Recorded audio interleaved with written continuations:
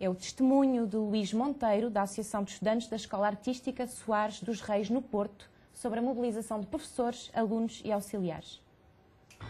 Este dia 24 de novembro marca um dia importante de luta nacional,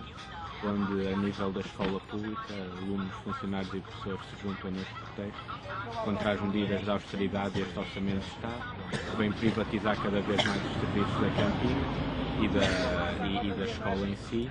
eh, vem também atacar os serviços de ação social, tanto a nível do secundário, mas também do superior, e este Orçamento de Estado vem ainda